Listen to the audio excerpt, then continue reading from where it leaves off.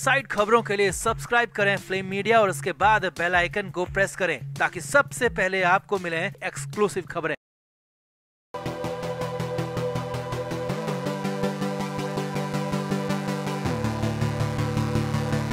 संजय राउत के हालात लगातार खराब होते जा रहे हैं। राउत को फाइनली आठ दिन की रिमांड के बाद जेल भेज दिया गया। मुंबई की और रोड जेल उन्हें पहुँचाया गया। सोमवार की देर शाम राउत को जेल लाया गया। उन्हें सेल में डाल दिया गया।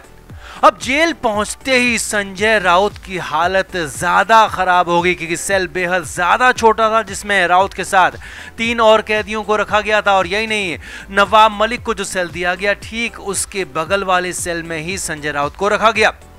यहाँ पहुँचते ही राउत की भूख खत्म हो गई, नींद उड़ गई और पहली बार बेहद मुश्किलों में उनकी रात कटी।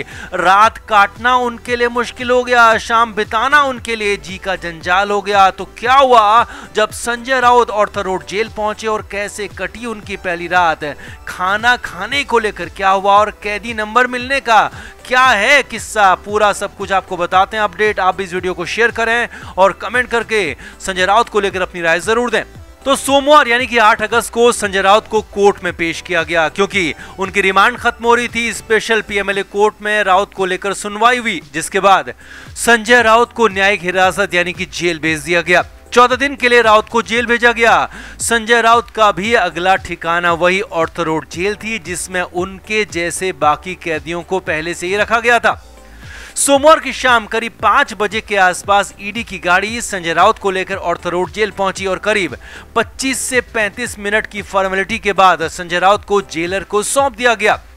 संजय राउत को जेल के अंदर लाया गया। हालाँकि अभी संजय राउत विचाराधीन कैदी हैं, यानी कि उनका दोष अभी साबित नहीं हुआ है। इसीलिए उन्हें अपने सिविल कपड़े पहनने की इजाज़त दी गई। यानी कि जेल के वो सफ़ेद कपड़े नहीं दिए गए, जिसमें नीली धारियाँ, या कहें कि नीली लाइंस होती हैं। लेकिन हाँ संजय राउत को जेल पहुँचते ही कैदी नंबर ज़रूर अलॉट हो गया। जी हाँ जेल सूत्रों के मुताबिक संजय राउत को कैदी नंबर ग्यारह मिला है। जी हाँ इसे बंदी नंबर भी कहते हैं और कैदी नंबर भी से ही कहा जाता है। तो वो नंबर संजय राउत को मिल गया, पहले ही दिन मिल गया, पहले ही घंटे में मिल गया।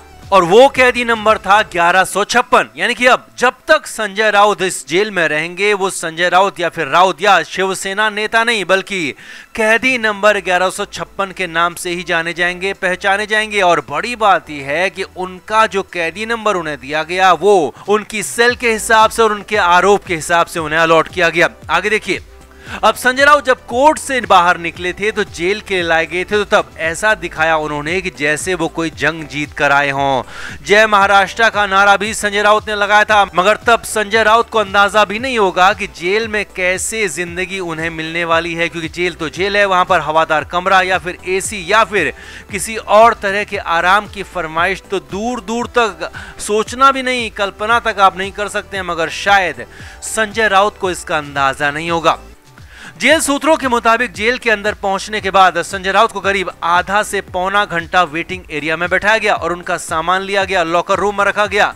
उनका फ़ोन और लैपटॉप तो ईडी पहले ही जब्त कर चुकी है, लेकिन घड़ी, जूते जैसे अन्य सामान यहाँ जेल प्रशासन ने रख लिए, लॉकर में डाल दिए और जेल की स्लीपर यानी कि चप्पल संजय राउत को दी गई, क्योंकि जेल के अंदर सभी कैदी चप्पलों में ही रहते हैं, वहाँ पर जूते नहीं पहने जाते हैं। शाम करीब साढ़े छह बजे के आसपास वेटिंग रूम से संजय राउत को आगे ले जाया गया। दो जेल कर्मियों के साथ जेलर भी वहाँ पर मौजूद थे और मुंबई में ऑर्थोरोड जेल के अंदर नवाब मलिक को जो सेल पहुंचाई गई थी, वहीं पर उसके आसपास ही संजय राउत को भी पहुँचाया गया। जी हाँ ये बड़ी बात थी कि नवाब मलिक और अनिल देशमुख, जो कि महाराष्ट्र के पूर्व मंत्री हैं और वो भी ईडी और पीएमएलए के मामलों में ही जेल में बंद है। हालाँकि मलिक तो फ़िलहाल अस्पताल में लेकिन हाँ जब मलिक जेल में थे और अनिल देशमुख भी जेल में ही थे तो उन्हें आसपास के सेल में रखा गया था तो यहाँ पर संजय राउत को भी उनके बगल वाले सेल में ही पहुँचाया गया। हालाँकि एक सेल में इन सभी को नहीं रखा गया, लेकिन हाँ ठीक बगल वाला सेल संजय राउत को दिया गया। आगे देखिए ऑर्थोरोड जेल में वैसे तो कुछ बड़ी सेल भी हैं, लेकिन यहाँ पर जिस सेल में संजय राउत को पहुँचाया गया, वो सेल आठ बाय आठ की थी, यानी कि आठ फीट लंबी और आठ फीट चौड़ी। और हालत ये थी कि इससे बड़ा तो संजय राउत के घर पर उनका बाथरूम है। जी हाँ सही सुन रहे हैं आप। मगर यहाँ पर आठ बाय आठ के सेल में संजय राउत को शिफ्ट किया गया और बड़ी बात यह थी कि संजय राउत इस पूरी सेल में अकेले नहीं थे, बल्कि उनकी जैसी बीमारी वाले, यानी कि हार्ट की समस्या वाले तीन और कैदी भी वहाँ पर उस सेल में रखे गए थे और कुल मिलाकर राउत समेत उस छोटे से सेल में चार कैदियों को रखा गया था।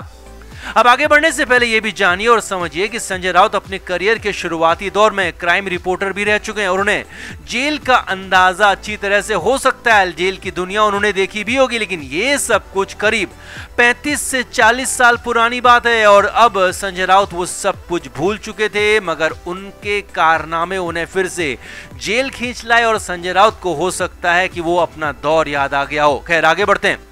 संजय राउत को जेल की सेल में पहुँचते ही बेडिंग का सामान भी दिया गया। संजय राउत को एक कंबल दिया गया, एक चादर दिया गया। अब चाहो तो उस कंबल और चादर को या तो ओढ़ लो या बिछा लो, क्योंकि यहाँ पर सीमेंट का कठोर फर्श ही होता है और उसी फर्श पर सोना पड़ता है। अब उसमें चाहो तो कंबल और चादर को बिछा लो या फिर उसे ओढ़ लो, इससे ज़्यादा बेडिंग किसी भी कैदी को नहीं मिलती और संजय राउत भी इससे अलग नहीं थे, और इसीलिए संजय राउत को भी नहीं मिली। हालाँकि कोर्ट में संजय राउत ने बेड की मांग की थी, मगर कोर्ट ने मानी नहीं, और इसीलिए उन्हें बेड दिया नहीं गया। अब ये संजय राउत की पहली मुश्किल थी, क्योंकि अपने घर पर राउत राजाओं की तरह रहते थे। एडी के लॉकअप में भी ठीक ठाक व्यवस्थाएँ थी, मगर यहाँ पर तो जेल थी और जेल तो जेल है, और यहाँ पहुँचते ही संजय राउत को इससे अंदाज़ा भी हो गया था। संजय राउत को खाने के लिए भी एक थाली, एक कटोरा और एक बड़ा सा मग दिया गया।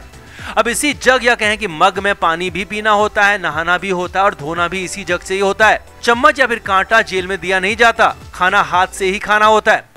अब यहाँ पर एक और बात भी जानिए। जेल के अंदर टॉयलेट कहीं बाहर नहीं जाना होता, बल्कि आठ बाय आठ के उसी सेल के अंदर छोटा सा कोना टॉयलेट का होता है और उसी में सब कुछ नित्य क्रम भी करना होता है। उसी जग से यहाँ भी काम करना होता है, जो कि पीने के पानी के लिए इस्तेमाल में होता है। यानी कि हालात नरक नहीं, बल्कि नरक से भी बुरे थे। और लेकिन अभी तो ये सिर्फ़ शुरुआत पहला दिन था, पहली शाम थी, पहली रात थी। आगे देखिए। अब इस बीच रात भी हो चुकी थी। रात के करीब आठ बज चुके थे। जेल के दरवाजे बाहर वालों के लिए बंद हो चुके थे। संजय राउत को घर के खाने की परमिशन ज़रूर कोर्ट से मिली थी, लेकिन वो भी छह बजे से पहले ही जेल के अंदर पहुंचाना होता है। इसके बाद यहाँ पर बाहर से एंट्री किसी भी तरह की नहीं होती है, जो यहाँ पर की हो नहीं पाया। और इसीलिए पहले दिन संजय राउत के लिए घर का खाना जेल में पहुँच नहीं पाया। और इसी वजह से संजय राउत को जेल का खाना ही पहले दिन दिया गया। संजय राउत को वही खाना दिया गया जो कि बाकी कैदियों के लिए बनाया गया था, जिसमें पानी से भी पतली दाल थी, बैंगन की सब्ज़ी थी, रोटी थी और थोड़ा सा चावल भी था। लेकिन हाँ जेल सूत्रों के मुताबिक संजय राउत ने खाना नहीं खाया। जी हाँ संजय राउत ने पहली रात जेल का खाना नहीं खाया। उनका घर का खाना आ नहीं पाया था और जेल का खाना उन्होंने खाया नहीं। लिहाजा, वो पहली रात भूखे रहे, बिना खाए ही आगे बढ़ गए। हाँ दवाओं के लिए कोर्ट से उन्हें परमिशन ज़रूर मिली थी, इसीलिए संजय राउत को दवाएँ ज़रूर दी गई और जेल कर्मी ने ही उन्हें लाकर दवा भी दी जो संजय राउत ने रात को ही ली थी। जेल सूत्रों के मुताबिक रात के करीब 10 बजे जेल में लाइट्स भी ऑफ़ हो जाती हैं, क्योंकि सभी कैदियों को सुबह जल्दी उठना होता है और इसीलिए रात को 10 बजे बाद लाइट्स ऑफ़ हो जाती हैं। संजय राउत के सेल की और आसपास की लाइट्स भी ऑफ़ कर दी गई। संजय राउत की सुरक्षा काफ़ी कड़ी कर दी गई थी। राउत की सेल के बाहर दो के बजाय चार बंदी रक्षक रखे गए हैं, जो कि वहाँ पर पहरेदारी कर रहे हैं। अब जेल सूत्रों के मुताबिक संजय राउत रात भर सो नहीं पाए। कभी बैठते, कभी खड़े होते, कभी सेल में ही चलने लगते और कभी फिर लेट जाते। रात भर संजय राउत परेशान रहे। संजय राउत की नींद रात भर खराब रही और वैसे भी संजय राउत को नींद की दिक्कत है, दिन की समस्या ये पहले से भी बताया जा रहा था। तो यहाँ पर नींद वैसे भी उड़ी हुई थी, लिहाजा अब तो संजय राउत के हालात और ज़्यादा खराब हो गए थे। रात भर वो परेशानी रहे। जेल सूत्रों के मुताबिक रात में संजय राउत सिर्फ़ पानी पीते रहे और अपनी सेल में जागते रहे, टहलते रहे। जेल सूत्रों के मुताबिक सुबह चार बजे जेल में लाइट्स ऑन हो गई, जिसके बाद कैदियों के जागने का सिलसिला भी शुरू हो गया और संजय राउत तो पहले से ही जगे हुए थे।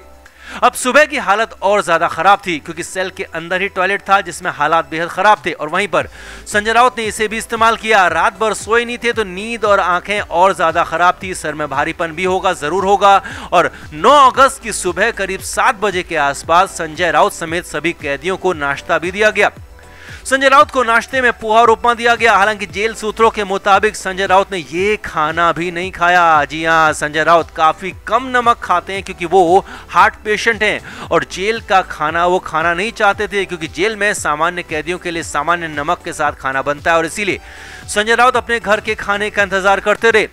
सुबह करीब साढ़े आठ बजे के आसपास संजय राउत के घर से खाना भी पहुँचाया गया और वही खाना संजय राउत ने कुछ बहुत खाया। जी हाँ यहाँ भी संजय राउत ने बहुत ज़्यादा खाना नहीं खाया क्योंकि उनकी हालत खराब थी, चेहरे पर हवाइयाँ उड़ी भी थी। हाँ उन्होंने कुछ खाना खाया और उसके बाद दवाएँ भी ली। संजय राउत की पहली रात कुल मिलाकर जेल में बेहद बुरी रही। राउत के लिए नाइटमेयर साबित हुई, क्योंकि राउत की कंडीशन पहले से ही वैसे ही खराब थी और ऊपर से जेल के हालात ने, जेल की साइकोलॉजी ने उन्हें और ज़्यादा बीमार बना दिया। और असली हालत तो अब आगे और खराब होने वाली है, क्योंकि पहली रात तो जैसे तैसे कट गई। अब लंबा वक्त लंबी लंबी रातें इन्हीं जेल की सलाखों के पीछे, इन्हीं छोटी छोटी सेल में, इन्हीं जेल की चार दीवारी के अंदर काटनी है, जो कि बेहद मुश्किल हो सकती है। राउत के लिए हाहाकारी हो सकती है। तो कुल मिलाकर संजय राउत की पहली जेल नाइट पर आपका क्या कहना है? राउत के हालात पर आपकी क्या राय है? कमेंट करके आप भी अपनी राय ज़रूर दें कमेंट बॉक्स में और वीडियो को अभी शेयर भी करें। Flame media report.